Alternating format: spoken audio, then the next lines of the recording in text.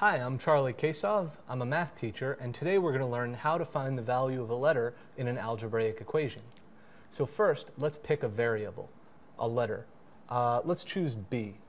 So if we have 2b equals 3c, well now we have two variables, no numbers, so we will never be able to find the letter value for this equation.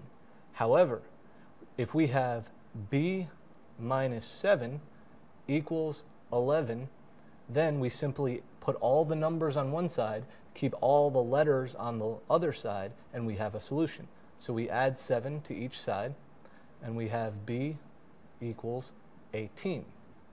Now, sometimes it looks like it'll be hard to find the value of a letter, but it's just the same. Let's say we have b plus 2 equals 3b minus 4. Well, the same rule applies. We put all the numbers on one side, we put all the variables on the other. Now what I like to do is I like to bring small over to big and big, uh, negative over to positive when I can.